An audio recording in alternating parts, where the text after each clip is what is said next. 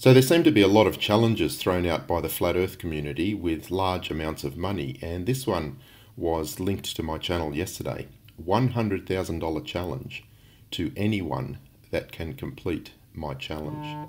Now he mentions me by name in this video stating I can't do his challenge. Well, I was only made aware of this video yesterday and yes, I absolutely can do your challenge and I have done it. So let's have a look at the challenge. Check it out. Here's the challenge.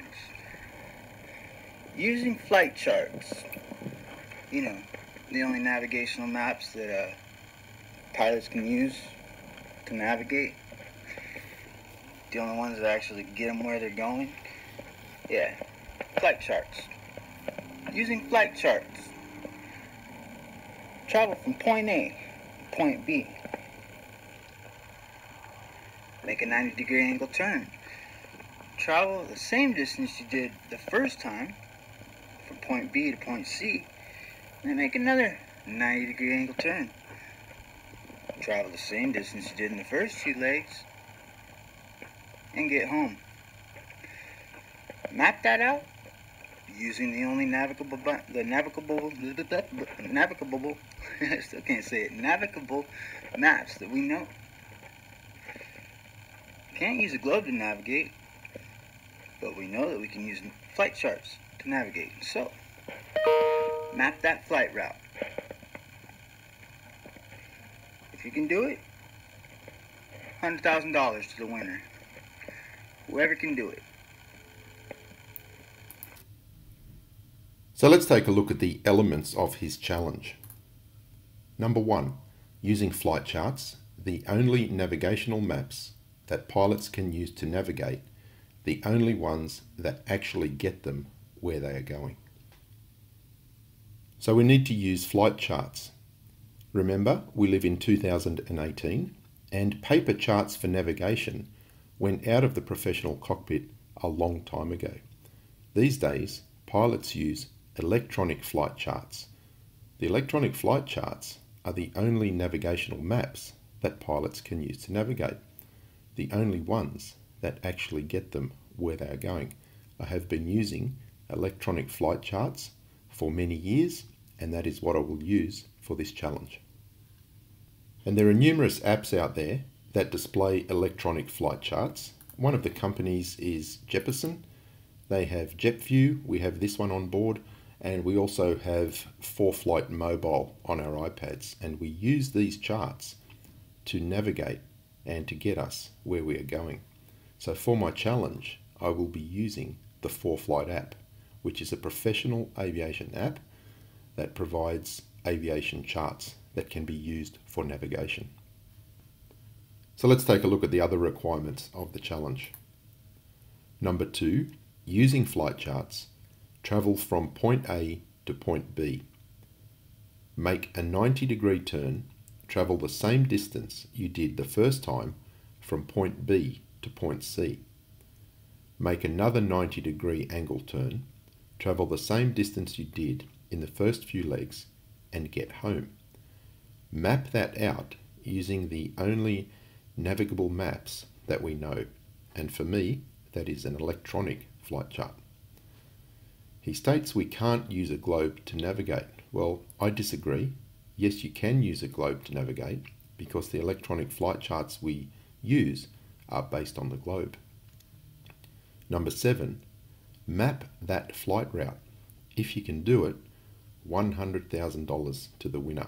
Well, yes, I have done it. So do you have your money ready? So this is my work iPad and as you can see I have a number of aviation apps installed. The first two, Jeppesen FliteDeck and ForeFlight, provide the electronic flight charts that we use to navigate.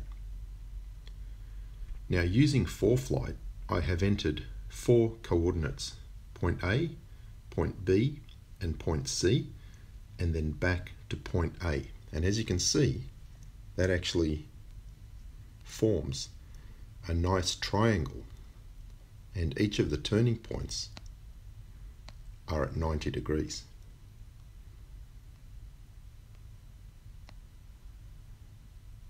So that satisfies the turn. Now if we have a look at the direction and the distances via the navlog,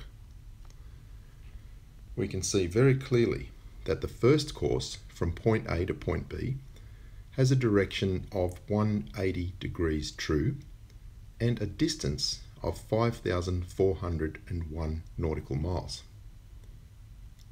The leg distance is there. We then go from point A to point B in a direction of 270 degrees true.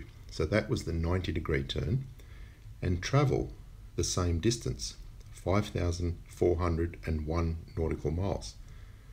We then make another 90 degree turn that puts us on a course of 360 degrees true and travel the same distance, 5,401 nautical miles, to arrive back at the origin.